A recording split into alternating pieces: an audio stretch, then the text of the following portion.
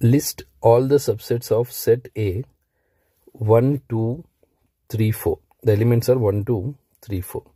So here in set A, there are like 4 elements 1, 2, 3 and 4. So the cardinal number is number of elements in set A 4. So number of subsets number of subsets is 2 power n n is number of elements 2 power 4 which is nothing but 16 so here we'll get 16 subsets. So see how to write the subsets. So it will be 1 2 3 4 4 elements. So first you write subsets. First you write null set. Null set is subset of every set. Then you write the sets with like single elements. So here you'll get like 1 2 set with element 3 so next you write sets with like two elements. Like see first make a pair.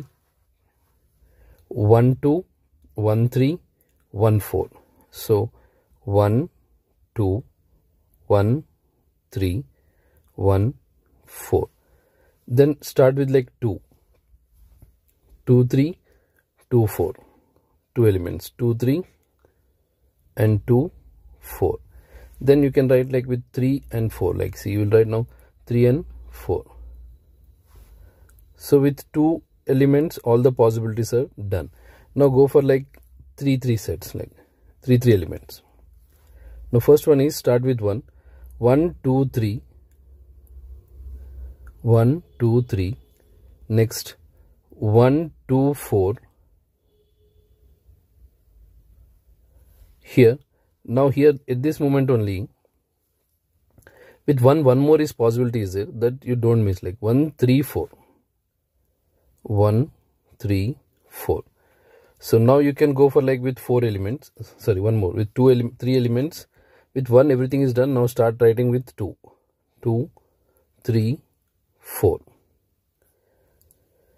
so now all the with three sets with three elements also done. So the last one is like set with four elements. One, two, three, four.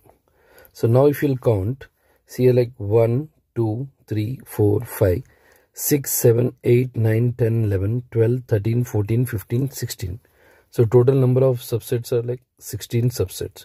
You need to write all the subsets of a set in this way.